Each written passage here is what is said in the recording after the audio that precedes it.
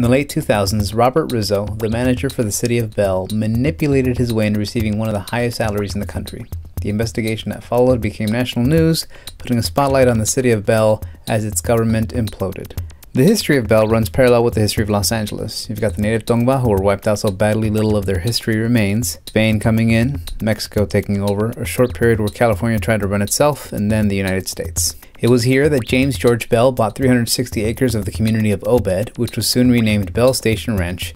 Bell put down roots with his entire family, including his son Alphonzo Bell Sr., who would himself go on to develop Bel Air. That's right, the city of Bell and Bel Air both came from the same family. During most of the 20th century, Bell established itself as a city and followed a pattern repeated throughout Southeast LA. That is, changes in economy, migration, and politics, resulting in white people leaving and brown people arriving. One thing that separates Bell from cities like Southgate and Cerritos, however, is its Lebanese community. In the 1970s, Lebanese immigrants began to arrive in Bell. What started with a scattered few eventually grew into an enclave of 2,000 plus Lebanese Americans. Then, in the 21st century, came the ravages of Robert Rizzo that left the city bewildered and abused. So picture Bell, reeling from the damage brought on by its own government. It would be understandable to find its citizens cynical and distrustful. Few would be surprised if this same paranoia began mixing with the Islamophobia that had taken root in other places in the United States. So, what does it mean when in 2015, a city with an immense Latin American population elects their first ever Lebanese American mayor?